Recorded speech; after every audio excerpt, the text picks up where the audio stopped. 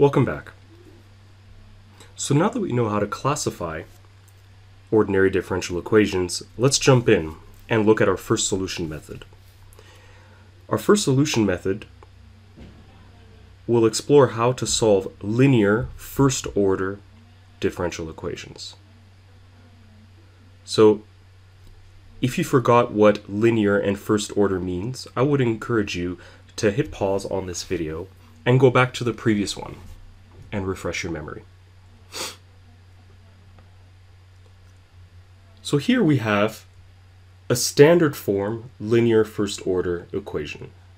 So it is first order because the highest order derivative is a first order derivative, y prime.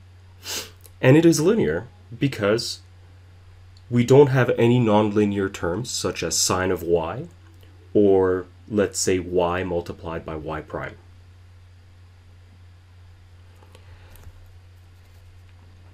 The first method that we're going to look at is the integrating factor method, which, is, which applies to linear first order differential equations.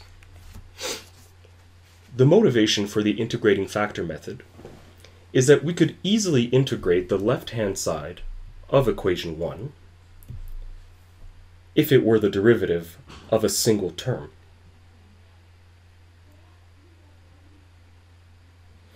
So we can actually transform equation 1 into this suitable form. So that form that we are looking for is that the left-hand side is the derivative of a single term. And we can do that by multiplying the equation by a function that we will call mu of x. So let's go ahead and do that right now. So we have mu of x multiplied by y prime plus mu of x p of x multiplied by y is equal to mu of x r of x. And we'll call this equation 2. So again, we haven't really done anything special. We just multiplied the left and the right hand sides by a function that is at most a function of x, which we call mu of x. So again, what we're looking at is that we want to transform the left-hand side of equation 1 into the derivative of a single term. So let's suppose that that term looked like this. So let's say that we had a single term, which we will call mu of x multiplied by y. And we're saying that, let's look at its derivative. So applying the product rule, we would have mu of x multiplied by y prime plus mu prime of x multiplied by y. And we'll call this equation 3.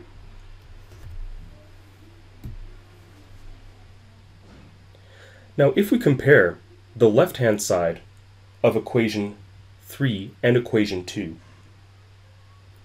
and equating the two because we're trying to enforce the left-hand side to be the derivative of a single term, then let's set that equality here.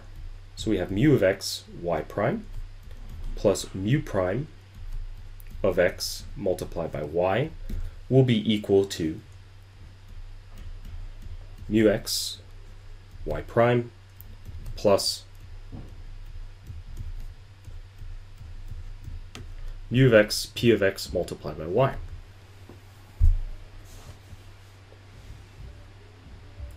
So we see that this term here and this term here is the same. So for this equality to hold, we need these two terms to be the same. That is, we need mu prime of x to be equal to mu of x p of x. And this here is a simple first order ODE. Before we go any further, let's recap what we've done. So we have a linear first order ODE. Now, we can't integrate this directly, but we could theoretically integrate it if we could recast the left-hand side as the derivative of a single product. Because if we have the derivative of a single product, we can integrate that directly. So if the left-hand side, over here, were the derivative of a single product, then using the product rule, we have these two terms over here. Then we compare equation 3 and equation 2. And to see that for that equality to hold, we need the derivative of this unknown function yet, mu prime, to be equal to the function itself multiplied by p of x, which is the coefficient of the y term in our standard form linear first order equation. Okay, so let's continue. So we see that this is a simple, separable, first order ordinary differential equation. So we can divide both sides by mu of x, which will give us 1 over mu of x d mu is equal to p of x dx.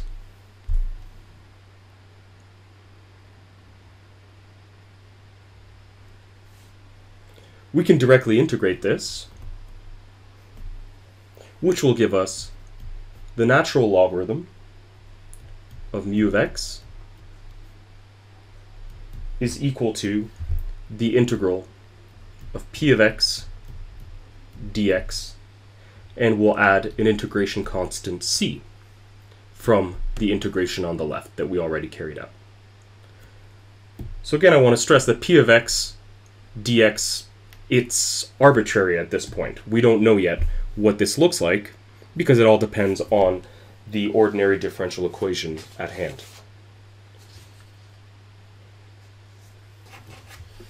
So we can isolate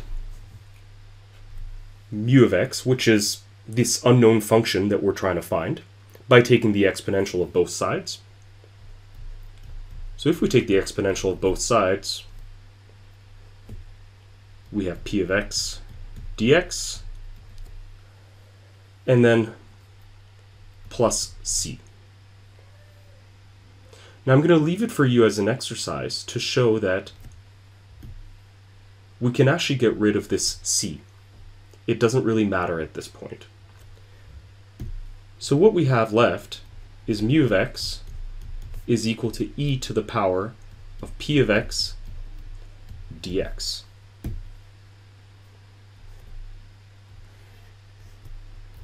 And this is what we call the integrating factor.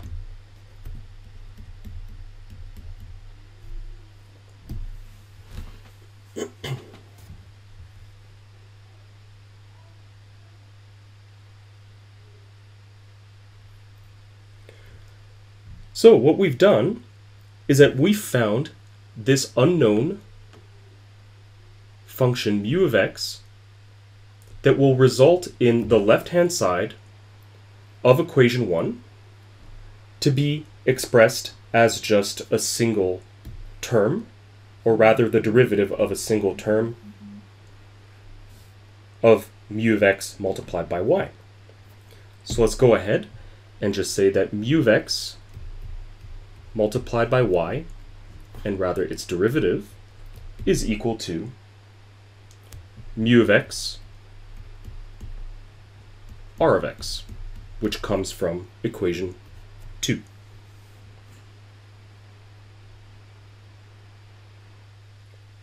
So again, this was the whole motivation behind this method, is that if the left-hand side is the derivative of a single term, then we can directly integrate this. So directly integrating this will give us mu of x multiplied by y is equal to mu of x r of x dx plus a constant of integration c. So this allows us to solve for y, which is the solution of our differential equation, by dividing both sides by mu of x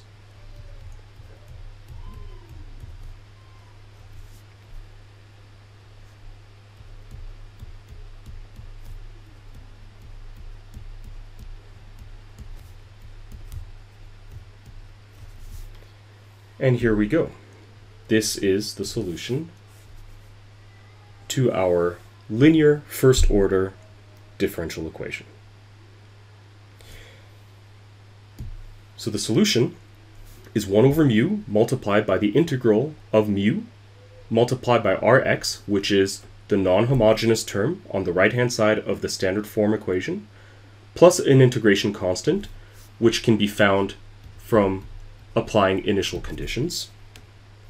And this mu of x here is our integrating factor, which is e to the power of the integral p of x dx, where p of x is the term multiplying the dependent variable in our standard form linear first order differential equation. So again, this constant c can be determined with the help of the given initial condition. And again, I stress that the ODE must be cast in standard form before you begin the solution procedure. So by standard form, we mean that the y prime term here must be multiplied by 1.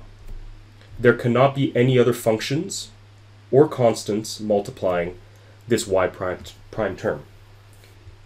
If you have such terms, you need to divide the whole equation by that coefficient multiplying y prime in order to cast it in standard form. This is a very powerful method for solving linear first order differential equations. Of course, this is only applicable to linear first order differential equations, so be sure that you are applying the right solution method for the right class of problems.